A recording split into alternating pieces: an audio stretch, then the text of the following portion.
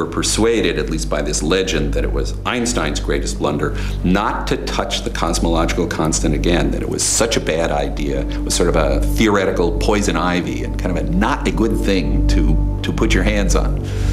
Because after all, if somebody was going to make a case for the cosmological constant, they'd have to be saying, in effect, they're smarter than Einstein, which, you know, may, may be true, but it's not likely to be true well, when you're a genius, the biggest blunder of your life may actually be, you know, something quite useful to the rest of us.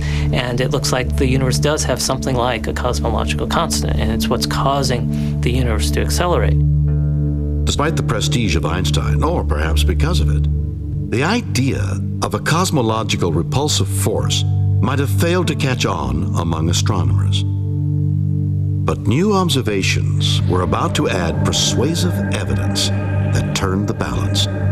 To gather this evidence, one team of scientists had to travel, quite literally, to the ends of the earth.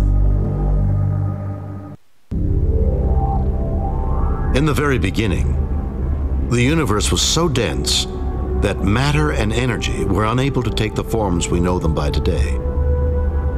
They were bound up together in some mysterious higher state we can't duplicate in the laboratory. When the universe had been expanding for about 300,000 years, though, the density dropped enough that matter and energy could go their separate ways. There was a sudden flash of light brighter than the surface of the sun, and that light is still out there, pervading every corner of the universe. But the universe has expanded enormously since then, so that radiation has been stretched out, redshifted, and diluted. To see it all today, we have to look in the microwave part of the spectrum. And even then, you need to use a highly sensitive receiver. The first people to do this were Arno Penzias and Robert Wilson back in 1965. They started out looking for the source of microwave noise in the telephone system and got more than they bargained for. In 1978, they were awarded the Nobel Prize for their discovery.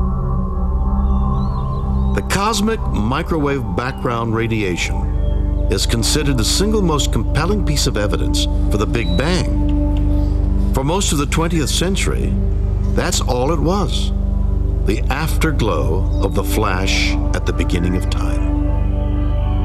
At first glance, the microwave background seems to be a truly featureless glow, completely smooth and uniform in all directions.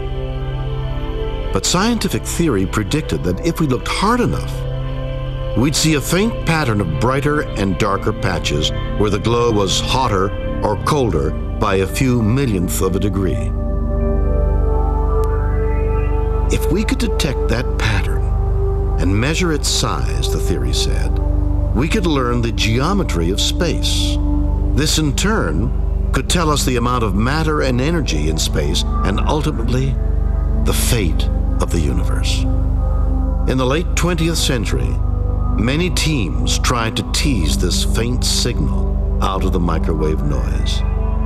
But it was a difficult measurement. More than 20 years passed before anyone succeeded. And only with the COBE experiment uh, of that uh, launched in 1989, a, a magnificent NASA mission, uh, were scientists able to finally measure ripples in the microwave background radiation. This was a magnificent discovery that uh, electrified the community when it was first announced in 1990.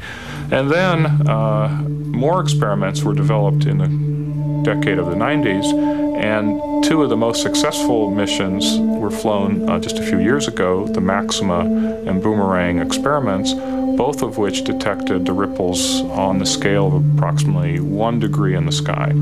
Uh, there's no question that they have seen ripples in the sky as predicted by the theorists, which has enormous implications for our ideas of structure in the universe.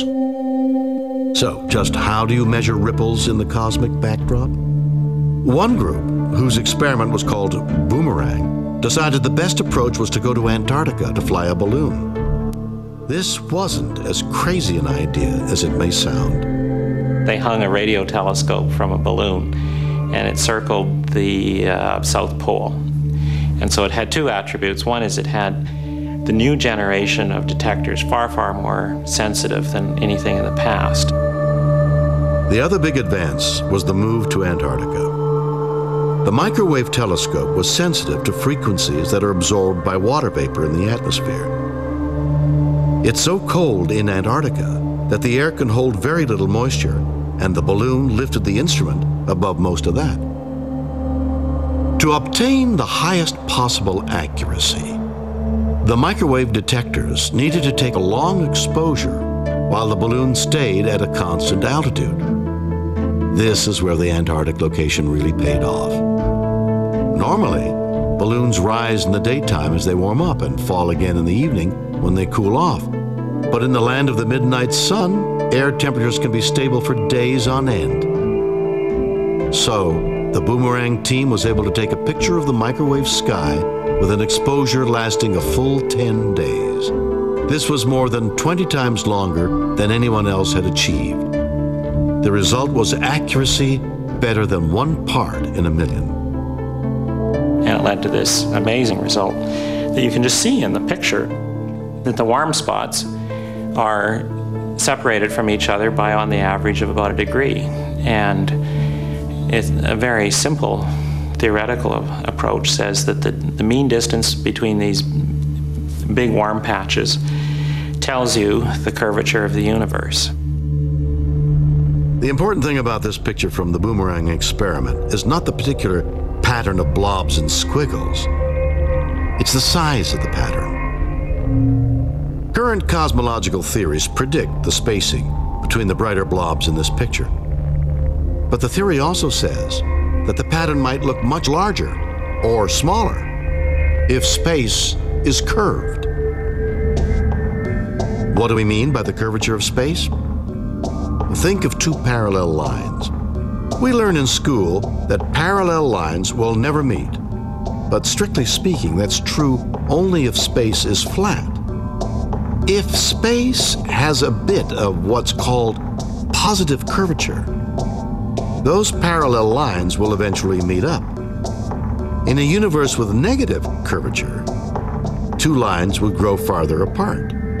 Either way, the curvature of space has a huge effect on our view of objects in the far distance. It acts like a distorting lens between us and the cosmic background. And yet there seems to be no distortion in the background radiation.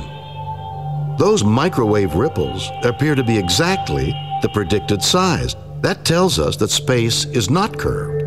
We live in a flat universe. Parallel lines will remain forever parallel. There's a problem. The thing that determines the flatness or curvature of space is the amount of energy and matter it contains. Our theories tell us how much stuff there has to be in every cubic light year for space to be as flat as we observe. That's where the trouble comes in. No matter how hard they look, scientists have been unable to find more than one third of that amount. And that's if they include the mysterious dark matter that we know is out there, but just can't see for some reason. There simply doesn't seem to be nearly enough matter in the universe to make space flat. Now, when we did this sort of work, trying to measure the density of the universe, taking all the galaxies and adding them all up and multiplying by the amount of dark matter and basically taking a census and